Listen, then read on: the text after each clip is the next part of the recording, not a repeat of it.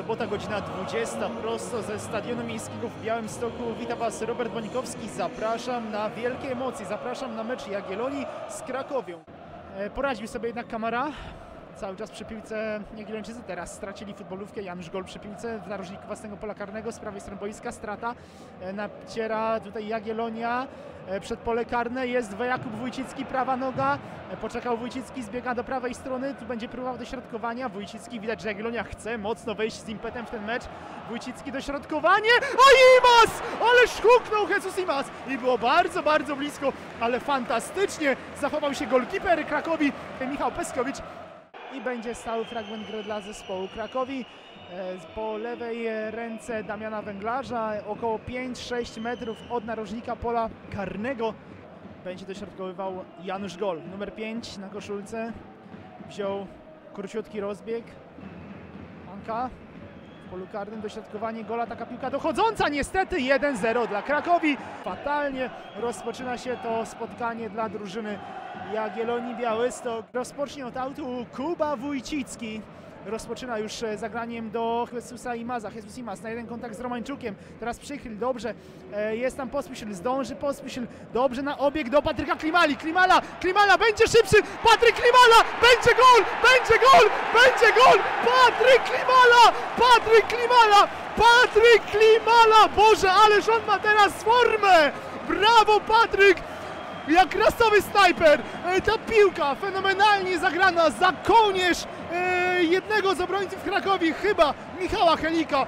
Wypchnął go, przepchnął go, wyprzedził Patryk Klimala, musnął piłkę nad e, Michałem Peskowiczem i dobił na pustą bramkę tę futbolówkę 1 do 1 w minucie 12. Jagiellonia doprowadza do remisu. Uff, służby porządkowe sprzątają e, węgiel, który został rozsypany przy linii, przy linii bocznej. E, Był taki konkurs. e, Jeden z panów poślizgnął się w trampeczkach na tej śliskiej murawie świeżo polanej wodą. No i niestety rozsypał trochę tego węgla. Teraz służby porządkowe jeszcze go uprzą- uprzątają, żeby tej piłkarze, że piłkarzom nie stało się nic złego. Stoper Krakowie wybija futbolówkę na, na rzut rożny. Będzie stały fragment gry dla drużyny Jagiellonii. Natomiast, natomiast jest problem. Sędziowie zatrzymują grę, ponieważ e, wysypany węgiel przeszkadza zawodnikom w, w grze. To są jaja. Tu się tego jeszcze, jeszcze takie rzeczy się nie działy w Ekstraklasie. E, panowie ze służby porządkowej kamyczek po kamyczku zbierają węgiel.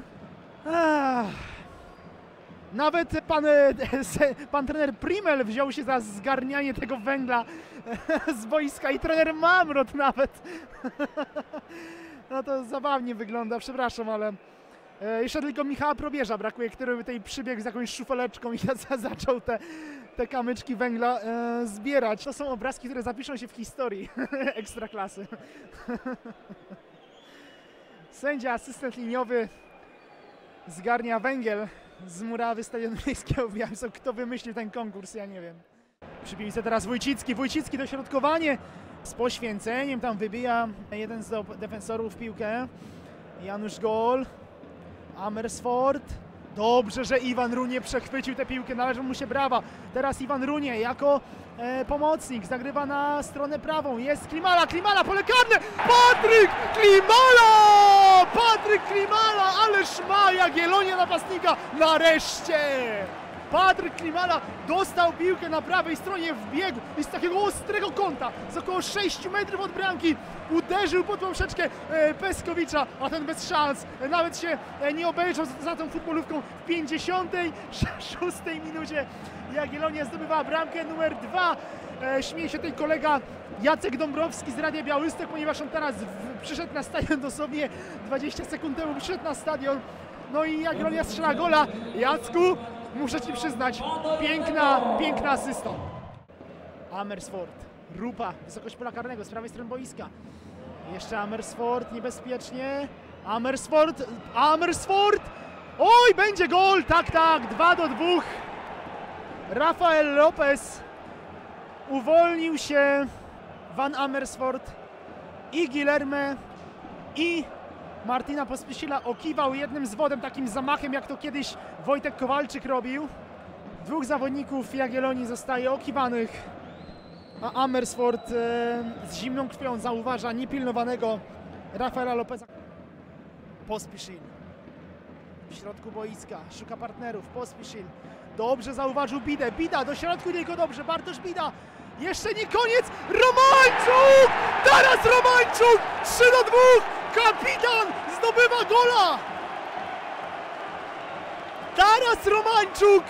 Po podaniu Bartosza Bidy! Ależ ten mecz jest szalony! Kapitalnie zauważony Bartosz Bida! Podanie Bidy, tam jeszcze uderzyła ta piłka jednego z zawodników Krakowi, trafiła pod nogi Romańczuka, Romańczuk na ślizgu huknął z 11 metra pod poprzeczkę Peskowicza. Nie do obrony! Brawo Romańczuk, brawo Bida, brawo Jagiellonio!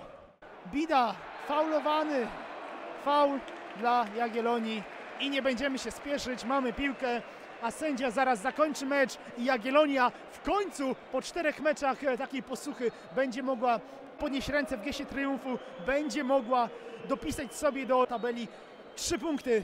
Koniec meczu i Jagiellonia wygrywa, trzy punkty zostają w Białymstoku. Dziękuję i zapraszam na kolejne transmisje. Do usłyszenia. Robert Bońkowski, pozdrawiam wszystkich.